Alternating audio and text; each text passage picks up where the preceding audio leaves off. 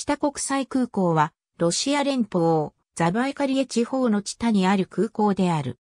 市中心部から約 10km 離れている。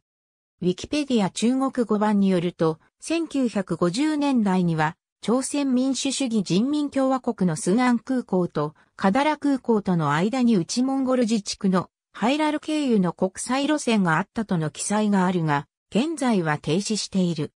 知多国際空港正面知多国際空港は、名前の響きとは合致せず、とても小さな地方都市のとても小さな地方空港であるため、空港設備がすべてこじんまりとて強いる。出入国管理施設もとても小さく、警備は厳しい。警備が厳しい理由の一つに、国際線が中華人民共和国の内モンゴル自治区、ハイラルや満州里からの便しかなく、通常、ここで国境を越える人は、地元の人がほとんどなため、それ以外の人々、すなわち、外国人に対しての出入国手続きがかなり慎重になっていると思われるため、中国のフルンボイルハイラル空港や満州里成功空港側でも同様の理由で厳しい警備となっている。